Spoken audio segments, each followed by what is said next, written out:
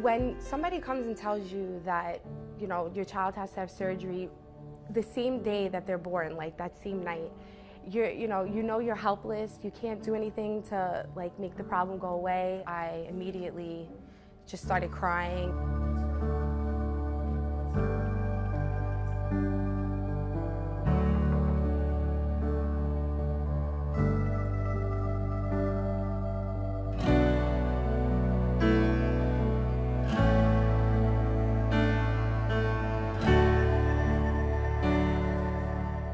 NICU nurses came up and took her right away.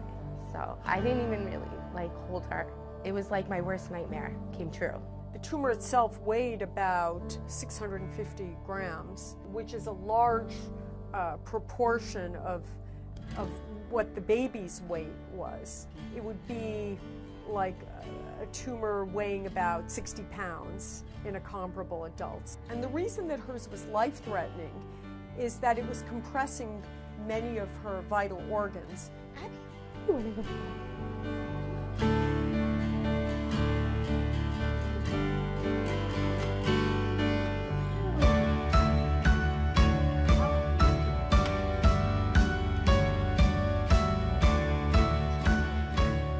The stakes are very high with this surgery.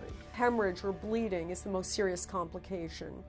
And in a little baby like this, if you develop hemorrhage, it could be life threatening. Potentially, the baby could, you could lose the baby on the operating room table. Just hour went by, hour went by, and I was just sitting in the waiting room, still in my gown. I looked like, you know, I had all kinds of things attached to me because I wasn't waiting in my room. It felt like forever, but as soon as Dr. Spigland walked through the doors and she went like that, I was able to breathe. I took a deep breath and I'm like, oh, thank you, God. And I prayed and I thanked God. So the scar has healed really nicely. Her belly feels perfect. It's like nothing ever happened to her. She looks absolutely amazing.